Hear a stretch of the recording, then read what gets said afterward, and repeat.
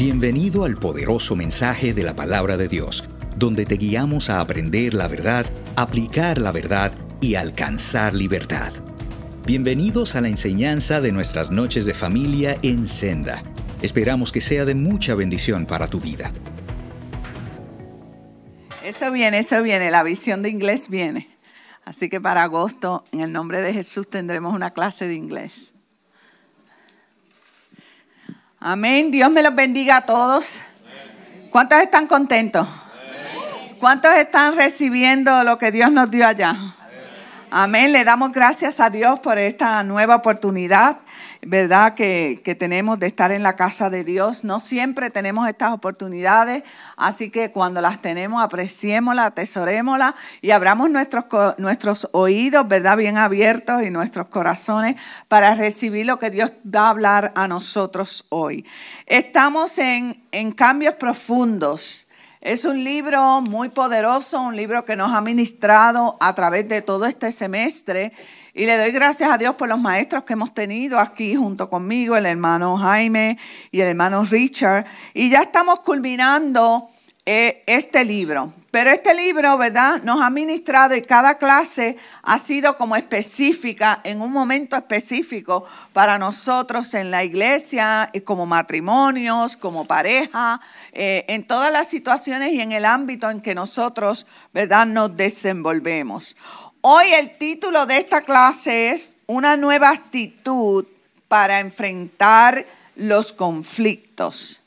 Yo no sé si usted ha vivido momentos de conflicto, momentos eh, difíciles, pero vamos a esperar que nos acomodemos, que busquemos el PowerPoint. ¿Estamos? Ya está. Este, entre los múltiples medios que Dios utiliza para madurarnos a nosotros, uno de los primeros que está en la lista son los conflictos. Los conflictos, ¿verdad? Están en la lista, yo diría número uno, que Dios usa para madurarnos, para madurarnos como persona, para madurarnos como hijos de Dios, para madurarnos como padres, en fin, en todas, en todas las áreas. Pero los, los acuerdos, ¿verdad? Los, los conflictos, que los podemos llamar desacuerdos, pueden significar un proceso, ¿verdad? Los desacuerdos o los conflictos pueden significar unos procesos donde podemos crecer o decrecer. Eso va a depender de cómo nosotros tengamos la madurez para enfrentar ese conflicto. Podemos crecer cuando en una situación de una prueba o de un conflicto, yo puedo mirarme a mí misma hacia adentro y reconocer dentro de mí cosas que desconocía de mi corazón. Cosas que quizás estaban ahí dentro y yo no las había percibido. Yo no sé si usted a veces se, analiza a usted mismo y dice, ay, pero ¿por qué soy así? ¿Pero por qué pienso así? ¿Pero por qué actúo de esta forma? Entonces, los conflictos y las pruebas nos pueden hacer crecer cuando podemos adentrarnos hacia, hacia nuestro corazón y, y permitir que Dios trabaje a través de esa prueba. Pero también podemos decrecer, que ese es el punto más peligroso. Podemos decrecer cuando en medio de una prueba o de una circunstancia o de un conflicto, yo me hago, me escondo, ¿verdad? Me hago ciega y no permito que Dios trabaje en mí y culpo a todo el mundo de mis circunstancias. Empiezo, eh, usted sabe que siempre cuando señalamos hay tres dedos mirando para acá, empezamos a hacer así. no, todo el mundo es culpable menos yo. Entonces, cuando llegamos a ese nivel de, de ceguera, estamos, el autor dice, estamos convenciéndonos y engañando a nuestro corazón de que el problema está fuera de nosotros, de que yo no soy el problema, el problema son los demás. Entonces, los conflictos y las pruebas siempre te van a llevar a dos puntos. Te van a llevar a crecer, dependiendo cómo usted, ¿verdad?, reaccione a esa prueba, o te va a, o te va a llevar a decrecer, a menguar. Y eso pues puede ser muy peligroso cuando los problemas nos pueden llevar a menguar. Ahora, vamos a estar hablando en esta clase de hoy de conflictos, de desacuerdos. Y vamos a ver diferencias más adelante de lo que pueden ser eh, desacuerdos sanos y desacuerdos insanos. Desacuerdos donde, verdad, eh, las cosas no marchen bien. Eh, yo sé que cada uno de nosotros a través de la vida, a través del trabajo, a través de la iglesia, a través de tantas situaciones, ninguno de nosotros estamos aquí eh, exentos de haber pasado por conflictos, de haber pasado por desacuerdo, de haber pasado por momentos un poquito turbios, donde nos tenemos que encontrar con una persona que se para al frente y se mantiene firme en su terquedad. Y usted dice, pero ¿cómo no puede ver? pero ¿cómo no puede eh, eh, caer en sentido de lo que estamos hablando? Entonces, yo creo que cada uno de nosotros en el ámbito familiar, laboral y aún dentro de la iglesia, nos vamos a encontrar en situaciones muy difíciles. Y las situaciones no las encontramos con personas. ¿Verdad que usted no tiene ninguna situación difícil con su perrito, ni con su mascota, ni con... No, porque las situaciones difíciles y los momentos que Dios va a permitir para que nosotros crezcamos es rodeándonos de personas, tanto que nos van a aprobar en nuestras pruebas a través de los conflictos y los desacuerdos. Entonces, ¿qué es un conflicto? Si vamos a definir lo que es un conflicto, ¿quién me lo quiere leer?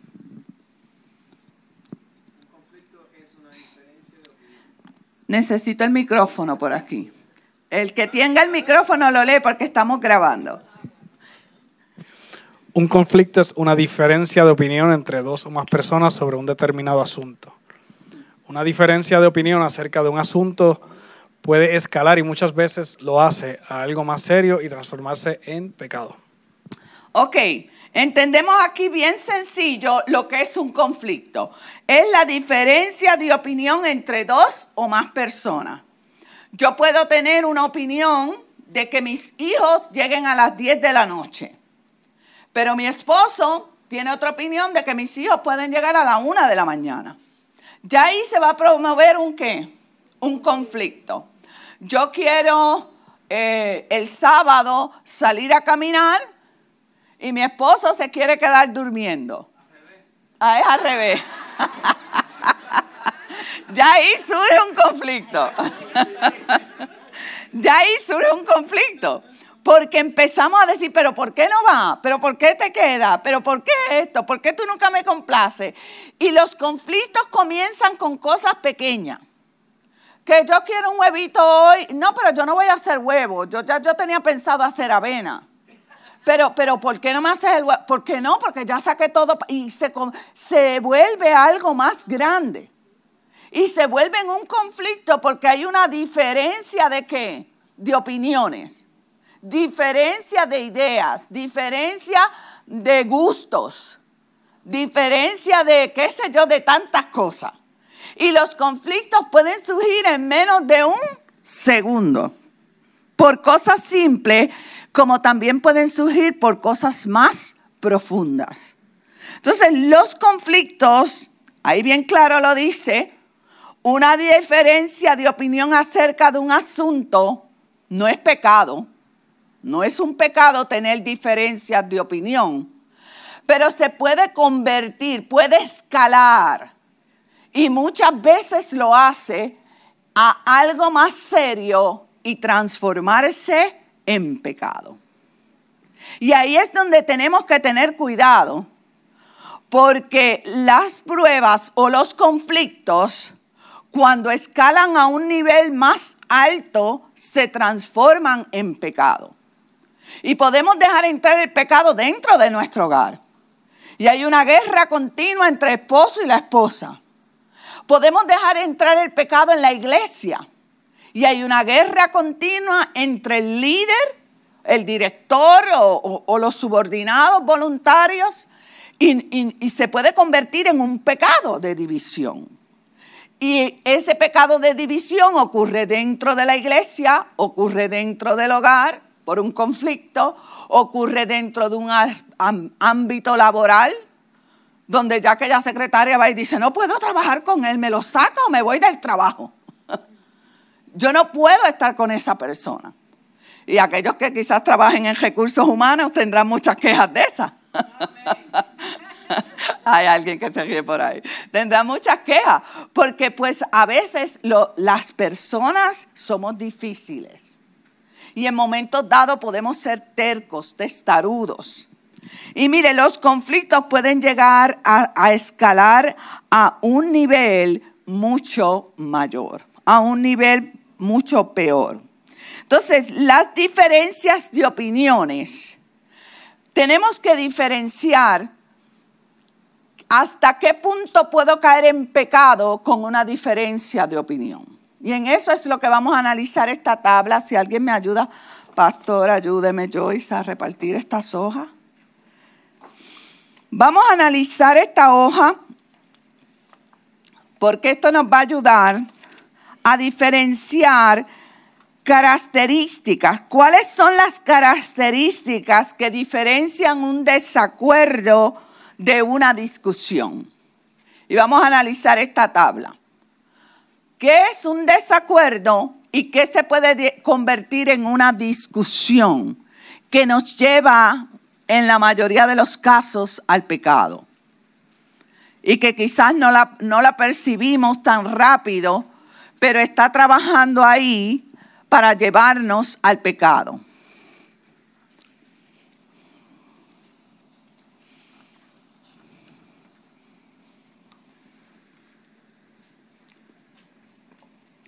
¿Todos tienen la hoja? Amén. Vamos a ir por esa hoja. Eh, los que tienen los micrófonos lo van pasando para que vayamos participando todos. Mire lo que dice aquí. Usted tiene en la, en la lista lo que es un desacuerdo y al lado lo que puede ser, lo que es un, lo que es un desacuerdo y lo que se convierte en una discusión. ¿Quién me quiere leer el primer punto, hermano? Usted que tiene el micrófono. Ok, Cuando dice conflicto sano y conflicto insano. Ajá. Perdón. Sí, léame eso. Conflicto sano y conflicto insano. El conflicto sano, ¿qué es? Léame tres de ellas y las tres de al lado, nada más. ¿Le sigo para abajo? Sí. Es una diferencia de opinión bien manejada lee el, otro que está al lateral. Es una diferencia de opinión mal manejada. Ambas partes responden a una manera santa. Ambas partes responden de manera pecaminosa. Ajá. ¿Le sigo? Sí, dele. Expreso mi punto de visitar sin herir, de vista sin herir. Expreso mi punto de vista lastimando al otro Ok, hasta ahí. Vamos a esos tres puntos. Si vemos claramente, esto es como una radiografía de cómo pueden ser los desacuerdos y, los, y la discusión. Si, entendemos claro ahí, lo primero es que es sano, un desacuerdo puede ser sano, pero la discusión se convierte en algo insano y pecaminoso no está bien manejada, ¿verdad? Es una diferencia de opinión bien manejada en un desacuerdo. En una discusión es una diferencia de opinión mal manejada. Se responde de manera pecaminosa. Se lastima al otro en una discusión. Se lastima al otro. Si seguimos más adelante, en un desacuerdo, el objetivo es llegar a un consenso, a, una, a un punto donde ambas partes, ¿verdad?, lleguen a un acuerdo sano. Pero en, el, en, en la discusión, tiende, el objetivo es ganar. En una discusión siempre va a haber una persona que va a decir, yo no me voy a dar mi brazo a torcer y mi propósito es ganar. Y es por eso que tiende a herir, tiende a lastimar, tiende a socavar y a mantenerse terco o terca en su posición. Porque no tiene ese espíritu de llegar a un acuerdo que, a un consenso por el equipo, a un consenso por el matrimonio, a un consenso por el equipo de trabajo, sino que en todo momento quiere ganar. Entonces, eh, tenemos que analizar esto bien porque esto se puede venir dentro de la iglesia y hace daño. Puede venir dentro de tu casa y hace daño. Puede eh, socavar. En los desacuerdos intento ser objetivo con mis argumentos. En la discusión tiendo a mentir o exagerar. Solo hacer preguntas para entender mejor. En un desacuerdo se hacen preguntas con un espíritu tranquilo para entender mejor la situación. Suelo hacer afirmaciones categóricas para probar mi punto. En una discusión, la persona va a estar constantemente indagando para probar su punto, para probar su punto. No levanto la voz. En un desacuerdo no se levanta la voz. En una discusión tiendo a levantar la voz, gritar o hablar con sarcasmo. Mire hermano, a través de los años que hemos estado en la iglesia y hemos tenido que a veces enfrentar situaciones difíciles, cuando ya vemos a alguien que grita y levanta la voz, ya entendemos que esa persona está simplemente trabajando en una discusión y no en llegar en un acuerdo para el bien del equipo. Levantar la voz y gritar es sinónimo de que mi espíritu no está acorde al espíritu de Dios. Cuando yo levanto la voz y grito en un desacuerdo, vamos a ponerlo dentro de la iglesia porque Tranchini nos está hablando a la iglesia. Cambios profundos. Cuando surge un conflicto dentro de la iglesia, entre líderes, entre voluntarios, entre subordinados a diferentes comités, nunca debemos llegar al límite de alzar la voz de interrumpir a una persona en una conversación. Bienvenido al poderoso de decirle tú eres el culpable de, de mis acciones. A aprender la verdad, tú eres el culpable de dañar mi corazón. Y lo vamos a ver más adelante por la palabra. A la enseñanza Porque de esto socava, ¿verdad? No estamos trabajando en unidad. Estamos trabajando en yo ganar, en yo tener mi posición al día y que tú sepas que yo gané. Y no es una batalla de ring. No es quién salió victorioso, es cómo salimos en unidad de espíritu, en el vínculo de la paz, como dice la palabra de Dios. Soy muy cuidadoso de no decir algo que me pueda lastimar. Eso lo hacemos en un desacuerdo. El que entra en discusión utiliza palabras e hirientes e incluso malas palabras. ¿Quién me quiere leer los tres que siguen? Si le pasa el micrófono a la hermana Joyce, hermano. ¿Tengo dominio? Tengo dominio propio para escuchar plenamente al otro. No dejo que la persona se exprese, la interrumpo. Acepto que soy incapaz de conocer el corazón del otro. Creo que conocer la motivación del otro lo juzgo y le atribuyo emociones. No soy condenatorio al mostrar el problema del otro hago sentir culpable a la otra persona, la condeno. Mire, hermanos, cuando en una discusión usted hace sentir culpable al otro, se convierte en una discusión. Porque usted está señalando a la otra persona, usted está lastimando a la otra persona.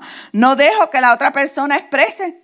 Te callas, le gritas, no, déjame hablar, o, permiso, esto no fue así, y sigue con una retórica fuerte, eso no es un deseo de resolver un problema.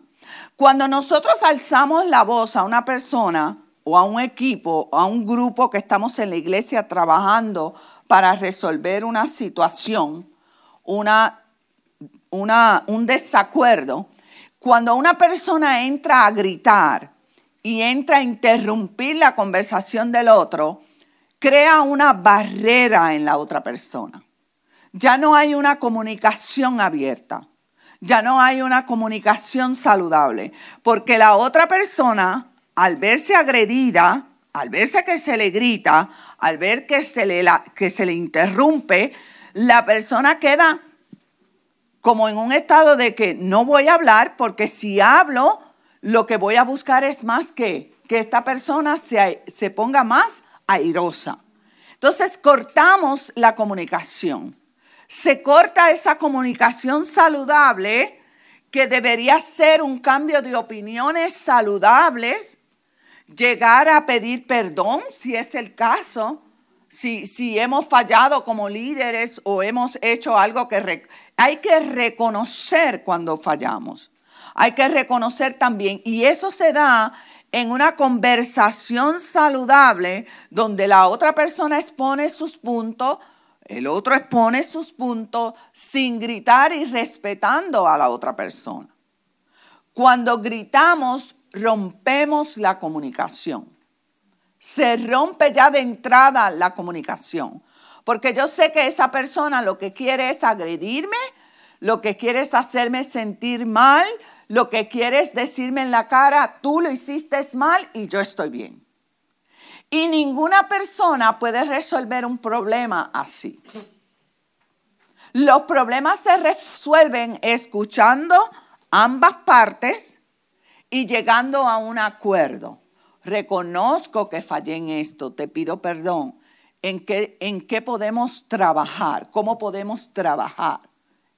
¿Cómo podemos lidiar con esto? Entonces, la persona que le gusta la discusión no trabaja de esa forma.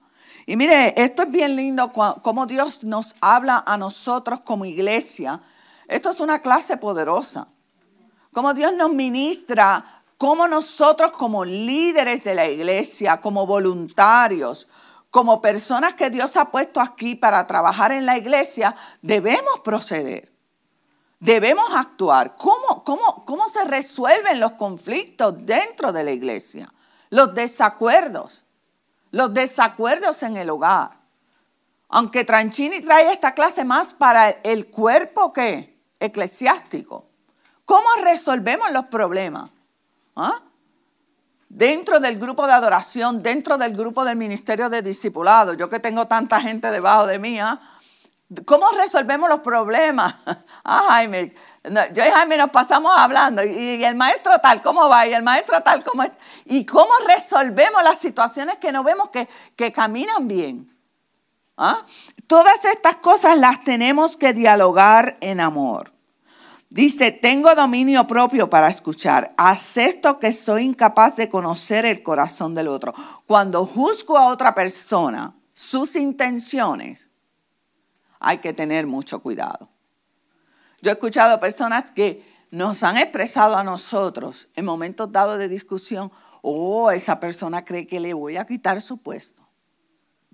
Y eso, eso es poner como en tela de juicio el pensamiento de otra persona. Y no son cosas que, edifican, sino que dañan. Dice, no soy condenatorio al mostrar el problema de otro hago sentir culpable a la otra persona y la condeno.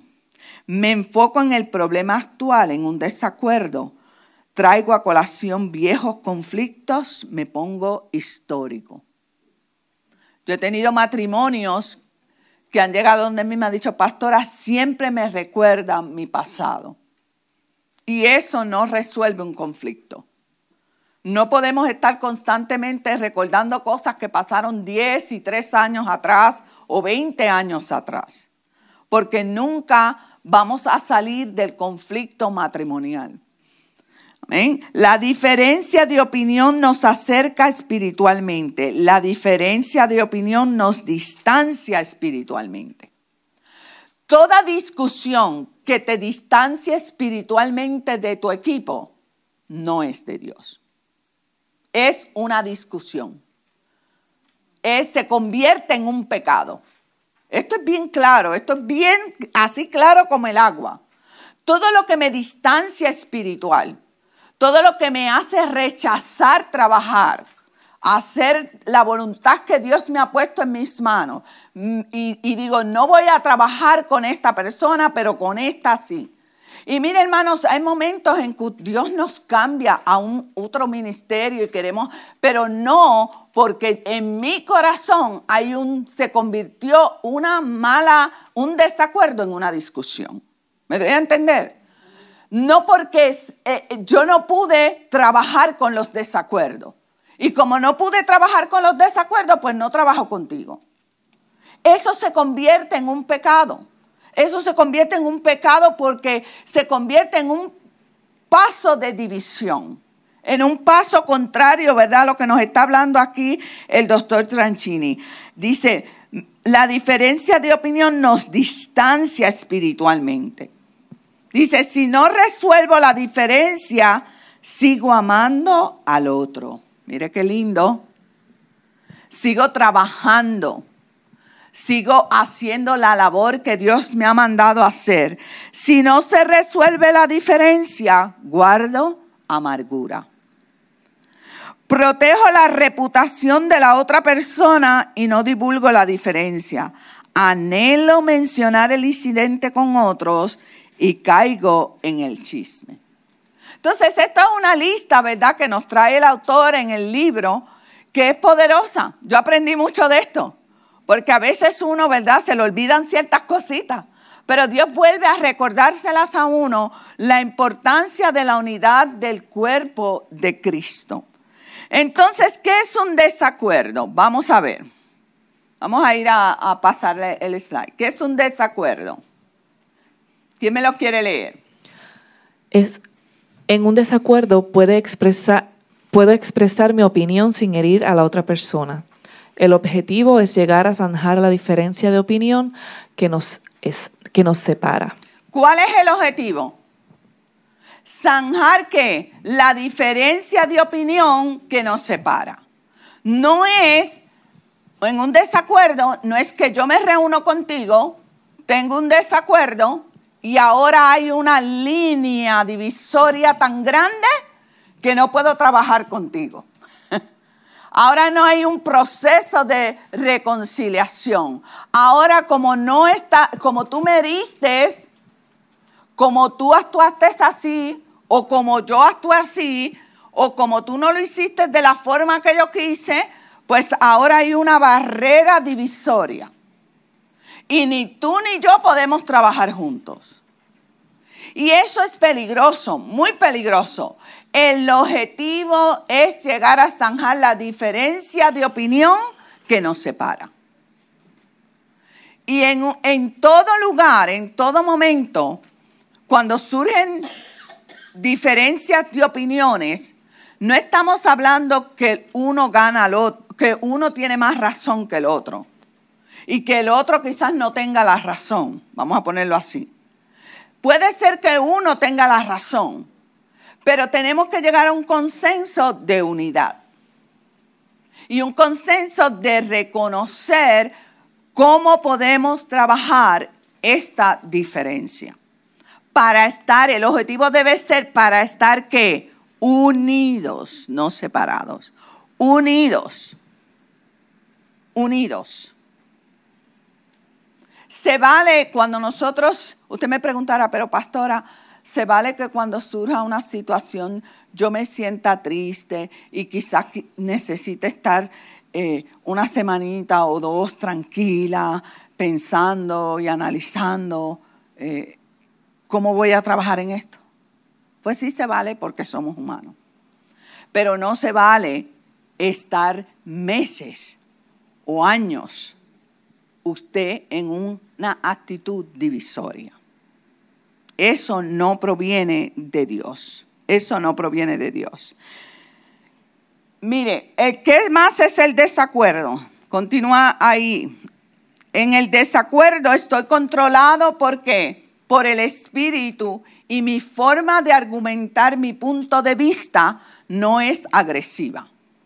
Cuando nosotros estamos Cuando nosotros vamos a una reunión o a una situación donde vamos a expresar diferencias de opiniones, y usted sabe que se va a presentar una situación difícil, lo primero que debemos hacer es llegar a esa reunión en oración. Llegar a esa reunión revestido del Espíritu de Dios y decirle, Señor, yo no quiero que salga mi yo.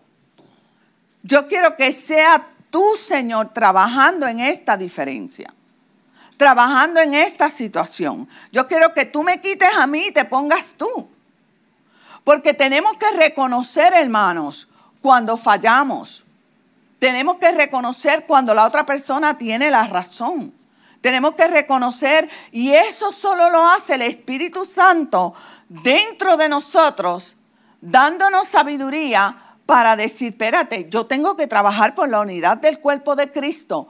Ayúdame Dios a entender y a canalizar. Y aunque hay cosas que no me gusten, Señor, por la unidad del pueblo de Cristo, yo quiero trabajar en, estas, en, esta armonía de Dios. Eso, eso es bíblico, hermano. Dice, estoy controlado por el Espíritu y mi forma no es agresiva. Dice, si no se resuelve la diferencia, ¿qué dice ahí? Le doy el regalo a la otra persona de que piense diferente a mí y le sigo qué? Amando. Y le sigo amando. Por eso es que Dios cuida mucho la unidad de la iglesia. Porque cuando hay diferencias de opiniones y éstas se convierten en pecados, se convierten en discusiones dentro de la iglesia, lo que surge es división. Ya no surge unidad, surge división. Porque va a haber un grupo que dice yo pienso así y a veces el grupo comienza pequeño, pero ese grupo va creciendo. Porque usted le da su opinión y el otro dice, me gusta tu opinión, tienes razón. Llega un tercero y dice, ¿por qué? Ay, ¿por qué tú no estás con aquel grupo? Tú estás Me gusta este grupo, me quedo con este grupo. Creo que es así como debe ser. Y cuando usted viene a ver, hay un cuerpo dividido. Y Dios no quiere un cuerpo dividido. Dios quiere un cuerpo unido, un cuerpo en unidad de espíritu. Así que le doy el regalo de qué? De que la persona piense diferente a mí y le sigo qué? Amando. Y le sigo amando.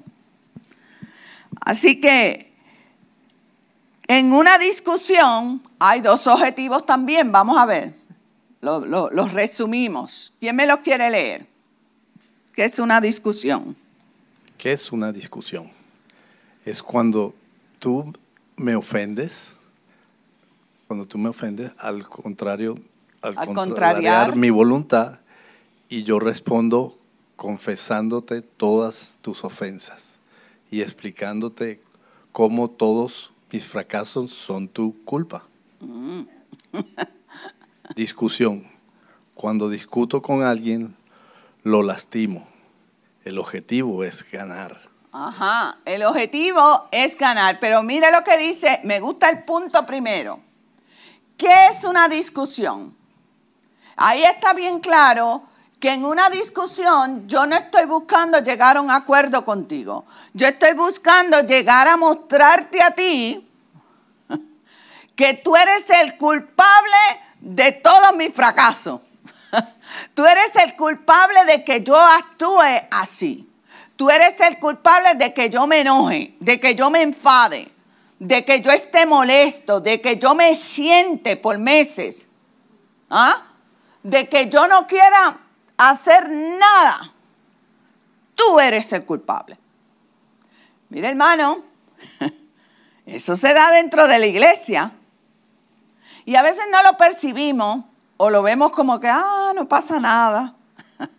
sí pasa, sí está pasando y el enemigo puede estar trabajando.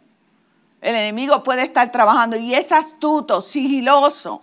Y usted, usted si es líder, tenga cuidado porque puede venir sigilosamente por los voluntarios que usted tiene.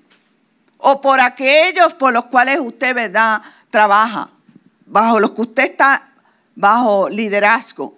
Entonces, nosotros, Dios nos insta como iglesia a tener cuidado con esto, porque la discusión se convierte en un pecado.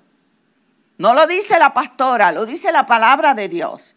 Se convierte en un pecado. Dice, cuando discuto con alguien lo lastimo. Le digo, tú eres el culpable. Tú no cuidaste mi corazón. Tú me hiciste enfadar. Vamos a ver qué dice la palabra. El objetivo de este punto es ganar. Ese es el único objetivo, es ganar. Vamos a ver qué nos dice Efesios 4:3. ¿Quién me lo quiere leer? Esfuércense por mantener la unidad del Espíritu mediante el vínculo de la paz. Esfuércese. O sea, la, la unidad requiere que esfuerzo. Puede que yo no esté 100% de acuerdo contigo, porque la realidad es que en la iglesia no estamos 100% de acuerdo con el líder, con el hermano que dirige, pero ¿por qué lo dirige así? ¿Por qué no lo hace así? No estamos 100% de acuerdo, seríamos verdad mentirosos. Pero la realidad es que Dios nos dice, fuércese. Es como que haz el sacrificio haz, la intención de mantener el vínculo de la unidad y de la paz. Cuando yo no mantengo el vínculo de la unidad, yo busco aislarme. Yo, busco que otros se... A veces no tenemos ni que hablar. Pero nunca el hecho de que usted no hable con palabras no significa que usted, usted está dando un mal ejemplo porque también nuestras acciones hacen determinar muchas preguntas a otros. ¿O no? Muchos pueden preguntar, pero ¿por qué la hermana ya no, ya no trabaja? ¿Pero por qué la hermana ya no, no toca el instrumento? ¿O por qué la hermana se sentó? ¿Por qué el hermano se sentó? ¿O por qué el hermano ya no trabaja? Y nos, nos podemos hacer muchas preguntas. Y quizás usted no está divulgando nada, pero dentro de su corazón hay un pecado de discusión. Algo que no se resolvió, algo que usted no está trabajando para la unidad del cuerpo de Cristo. Y mire hermano, esto requiere esfuerzo. Porque esto requiere, yo no digo que a mí no se me ha hecho a veces difícil. A veces, dígame usted a mí, que ninguno de nosotros se nos hace bien fácil cuando no estamos de acuerdo con alguien estar lo más feliz. No, somos humanos, estamos como, ay, como, como que estamos un poquito discomfort, como dice el americano, como que no nos gusta. Pero el Señor nos dice, esfuércense.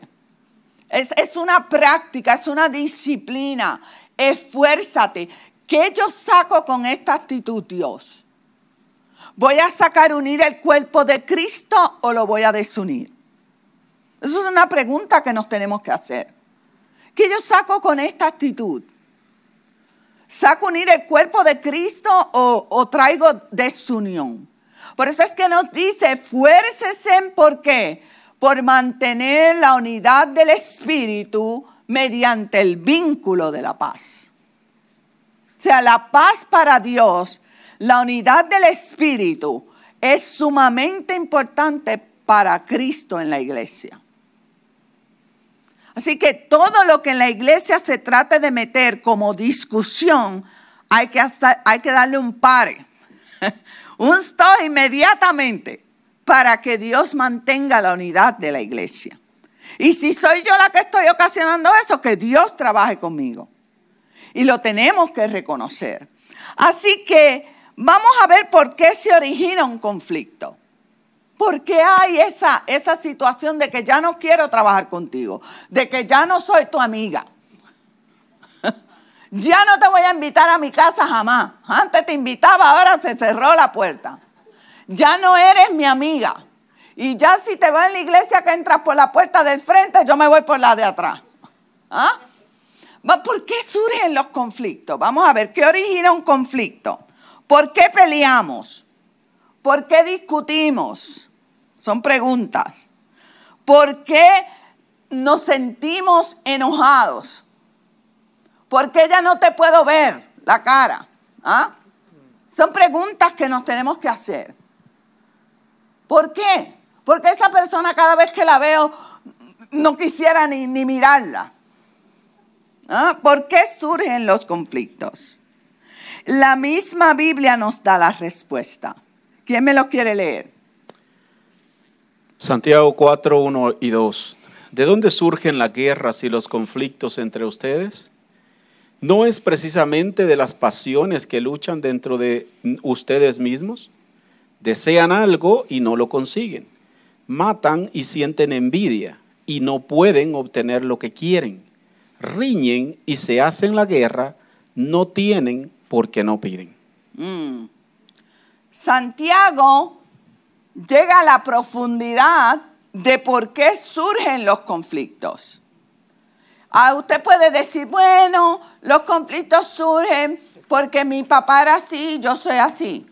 Surgen porque yo no comí y venía de mal humor. Surgen porque yo tenía las hormonas por los quintos cielos y se dispararon y no pude trabajar la situación. No, a veces ponemos muchas excusas por qué surge un conflicto. ¿Por qué se explotó esto de una manera que no lo podemos controlar? Y la Biblia es clara y nos responde, surgen de dentro de nuestro corazón porque anhelamos algo porque no obtienes lo que quieres.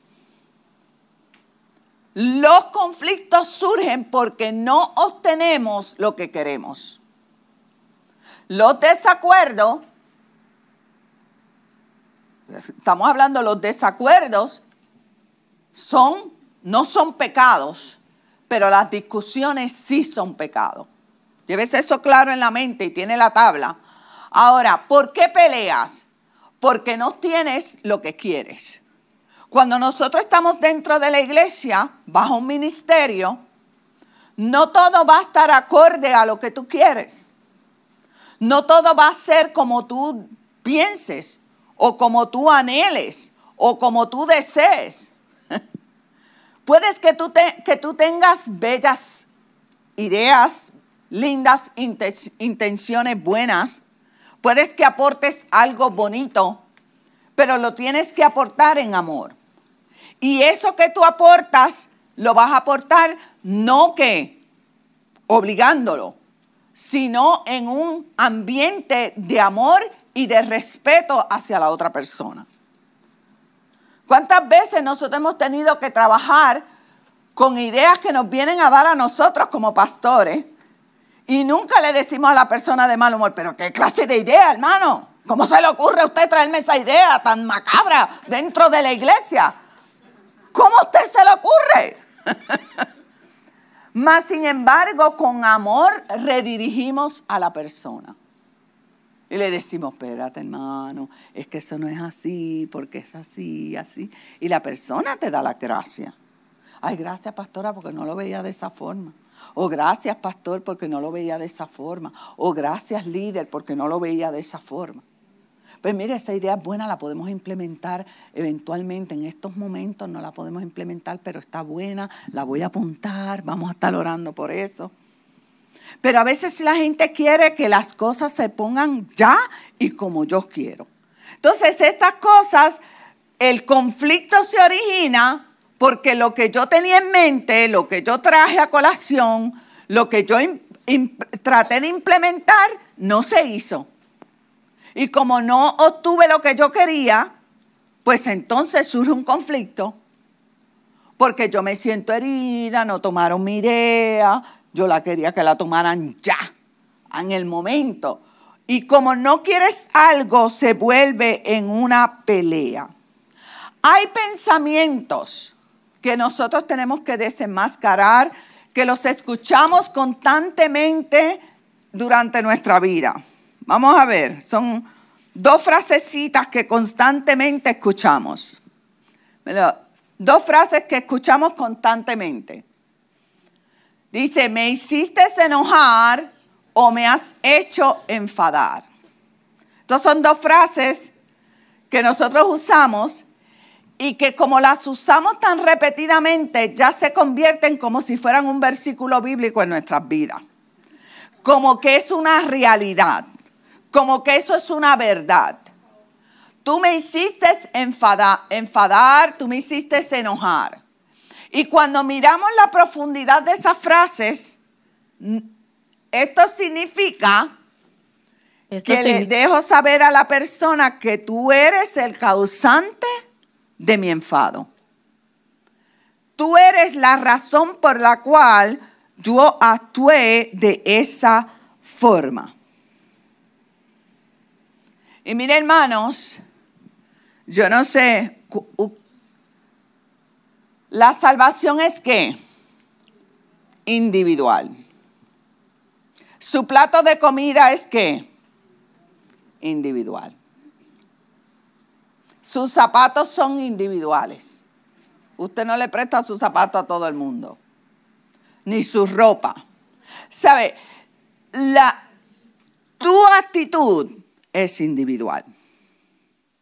Tu actitud no le pertenece a otra persona. Si otra persona maneja tu actitud, estaríamos bien mal porque cualquiera se le ocurriría poner una actitud fea en mí. y, yo venir aquí virar y usted decir, ay pastora, porque usted vino así. No, no, porque me está controlando la hermana Claudia acá y me dice que haga esto. Parece así como de muñequito, pero es la realidad. Mi actitud, mi enfado, mi enojo, no me lo causa nadie.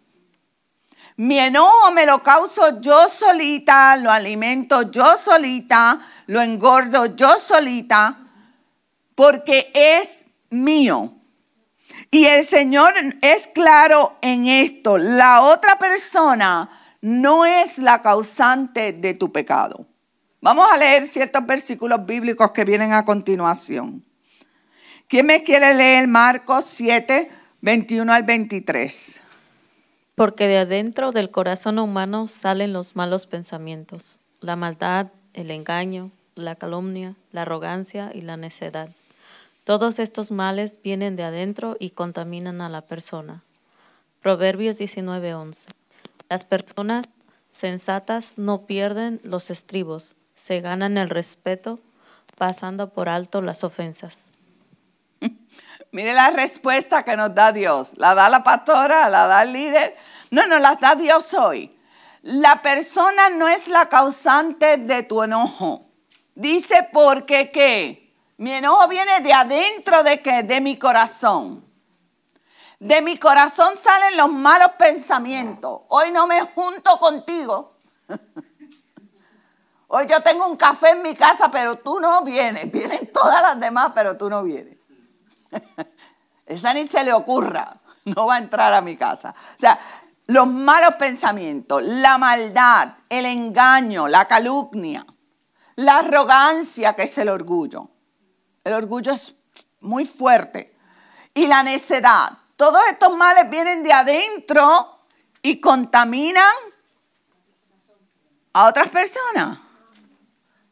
Me contaminan a mí me contaminan a mí. Así que yo no puedo culpar a nadie por mis acciones, por mi enfado, por mi, mi enojo, por cómo yo me sienta dentro de la iglesia.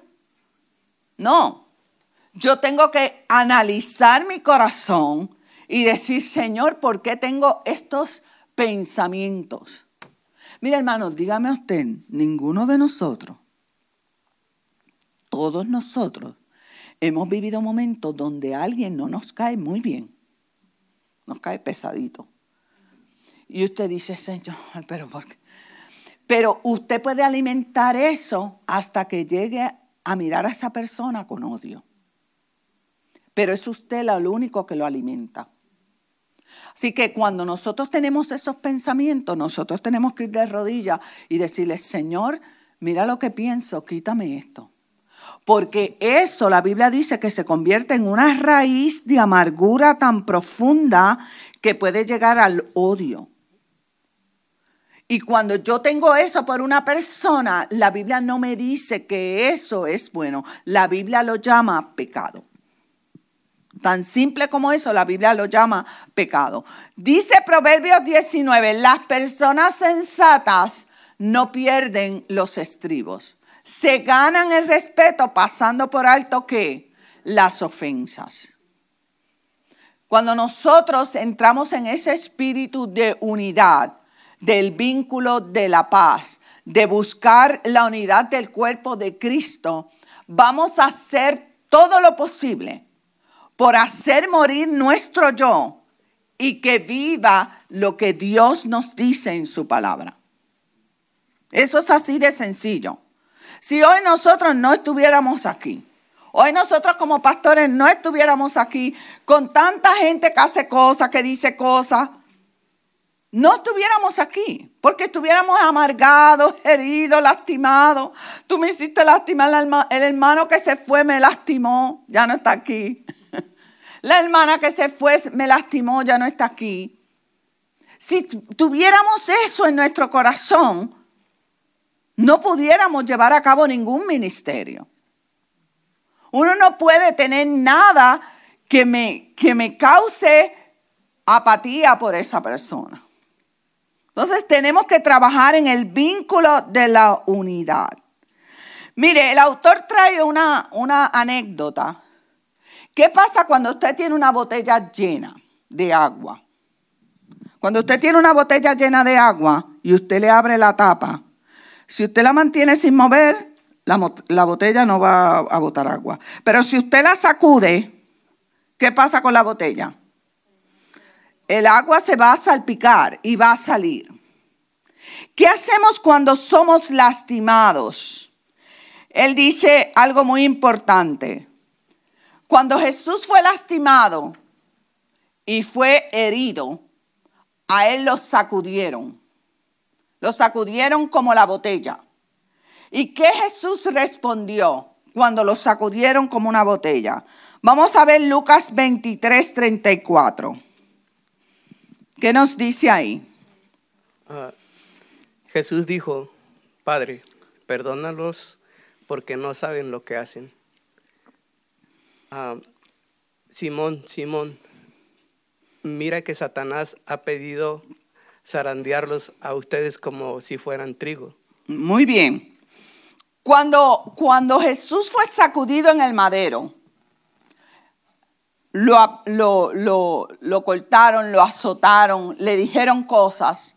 Jesús dejó un mensaje a nosotros. Eso es un mensaje para nosotros. A veces pensamos, no, Jesús lo dijo porque era Jesús. Pero la palabra de Dios está llena del perdón.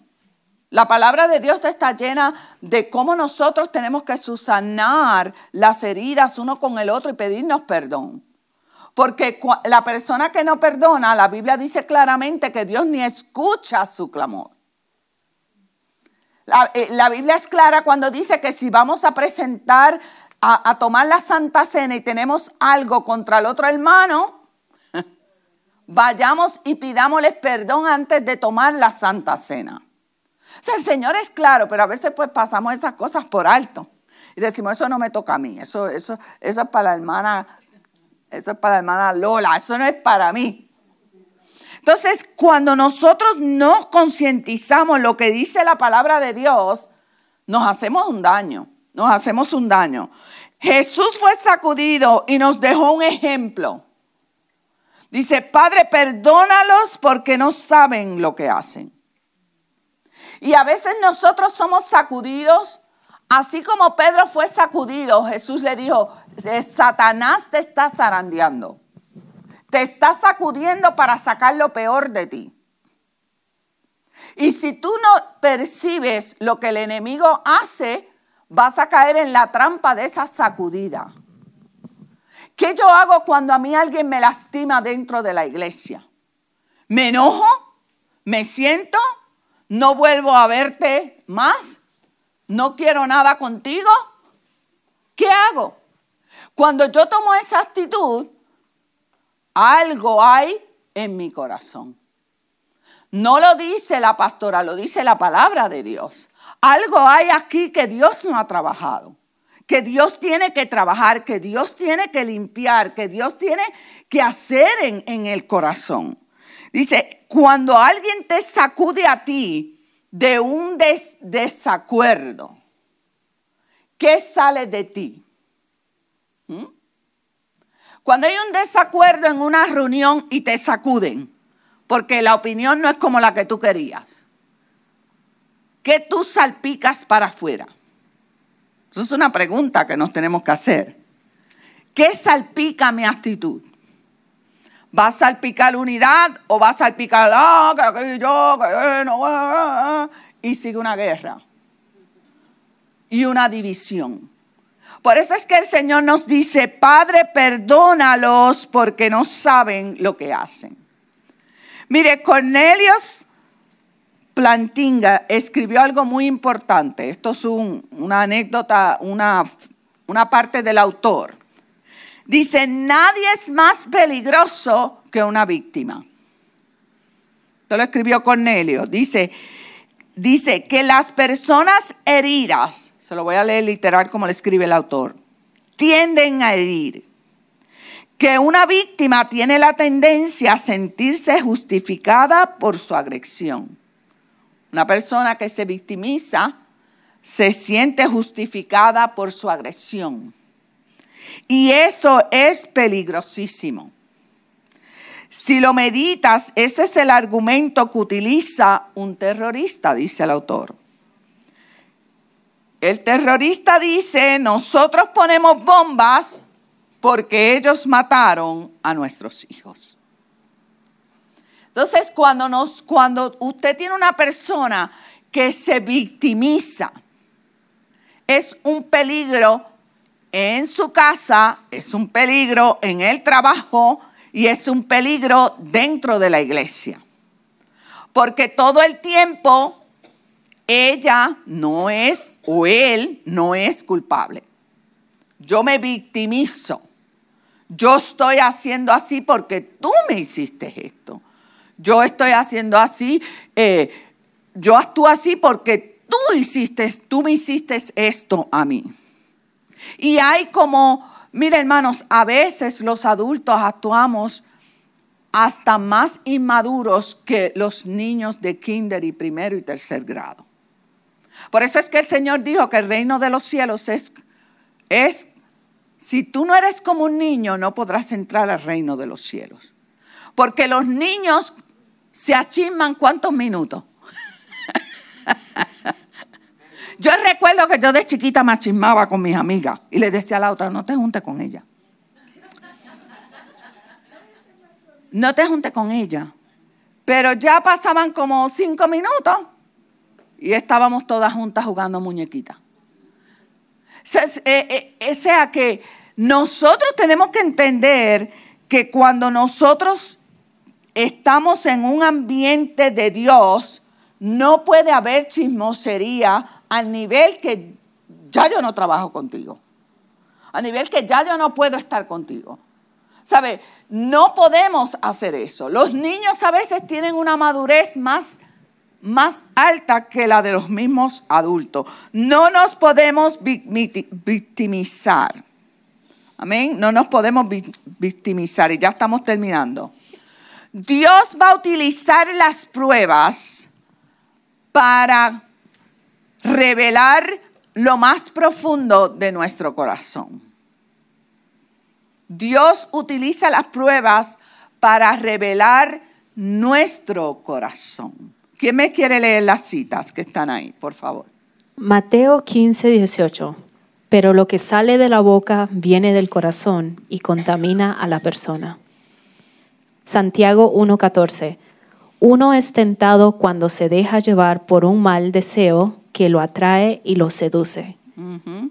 Santiago 1:12. Dios bendice a los que soportan con paciencia las pruebas y las tentaciones porque después de superarlas recibirán la corona de vida que Dios ha prometido a quienes lo aman. La maestra, cuando da un examen de matemática, esa prueba de matemática, es para revelar lo que el estudiante ha qué? Ha aprendido o ha estudiado. Y las pruebas en el ámbito espiritual y los desacuerdos. Estamos hablando de conflicto y desacuerdos. Los desacuerdos Dios los utiliza para revelar nuestro qué? Nuestro corazón. Mire, a veces no hay que ni, ni, ir muy profundo, porque las acciones revelan nuestro corazón. A veces no hay ni que juzgar, ni que decir, ni que pensar. No, nada más miramos las acciones de una persona y podemos ver qué hay en el corazón. ¿Qué hay ahí? Entonces, las pruebas, los conflictos, los desacuerdos, Dios los, los utiliza para revelar nuestro corazón. ¿Con propósito de hundirnos? No. Lo que Él desea para revelar tu corazón es que tú puedas percibir en qué áreas Dios yo necesito ayuda. En qué áreas todavía, Señor, necesito crecer. Mira, Dios, esta área de mi corazón que todavía no puedo perdonar a mi papá o a mi mamá o al hermano tal. ¿Qué áreas hay ahí que todavía están podridas? Y Dios lo hace para sanarnos. Las pruebas las revelan la intención de nuestro corazón, pero no es con el propósito de destruirnos, sino con el propósito de que recapacitemos, reconozcamos que tengo eso y empiece a trabajar para sanarlo. ¿Para qué usted va al doctor? Para que le identifique si tiene una enfermedad. Y si la tiene, se va a ir contento a la casa y, dice, ay, tengo un cancercito aquí en el riñón, ahí se va a quedar tranquilito, ya yo no vuelvo al hospital, que crezca y lo añoña. No, usted va a ir a recibir qué? La medicina que necesita ese cáncer para erradicarlo. Entonces así, es, así son las pruebas en nosotros porque lo que sale de la boca viene del corazón y contamina al hombre. Si hay algo que sale de mi boca y me está contaminando y Dios me lo revela, debo trabajar sobre eso. Uno es tentado cuando se deja llevar por ese mal deseo que lo atrae y lo seduce. Esta es mi posición, así me mantendré, así me quedaré y así moriré. Y cuando tenemos esa actitud, no crecemos. Pero cuando el Señor nos revela, mira, esta, esta eres tú, Raquel, y tienes que cambiar esto de tu vida, mi posición debe ser, sí, Señor, esta área está podrida y la tengo que cambiar. Mi hermano, yo, he orado por cosas mías que no son correctas y las someto al Señor y le digo, las quitas, Dios. Esto no es tuyo, sácalo de mí porque no estamos exentos de tener cosas que no provienen de Dios. Somos humanos. Así que Dios quiere que nosotros trabajemos sobre esas áreas. Y en resumen de esta clase, ¿qué es un conflicto? Un conflicto nace con una diferencia de opinión. Tener un desacuerdo no es incorrecto, pero que el desacuerdo se transforme en una discusión, sí lo es. Tremendo, ¿verdad? Lo que Dios nos trae hoy a través de Tranchini. ¿Por qué discutimos? Discutimos, aunque hay situaciones que nos tientan a pecar, la causa por la cual peleamos es por nuestra propia respuesta pecaminosa. No hemos obtenido algo que amamos demasiado y decidimos pecar para obtenerlo. Tremendo, ¿verdad? Así que usted llévese esta clase en su corazón. La semana que viene vamos a hablar del enojo. Yo dividí esta clase en dos porque es que el autor nos da demasiado steak. y yo dije, no, no, no puedo meter todo eso ahí. Así que la semana que viene vamos a hablar por qué viene el enojo a nuestras vidas. Así que yo creo que Dios nos ha ministrado a través de esta clase, me ministró a mí a través de esta semana. Llévese la tablita, póngala en el refrigerador, póngala en el Instagram, póngala en Facebook, póngala en todos los lugares donde usted quiera para que usted edifique el cuerpo de Cristo. Así que Dios me los bendiga y el pastor con nosotros. Tremenda clase, ¿no? Amén. Lo bueno de esto, hermano, es que esto es algo que podemos aplicar en nuestra familia, en nuestros negocios, eh, en cualquier ámbito donde hay más de dos personas.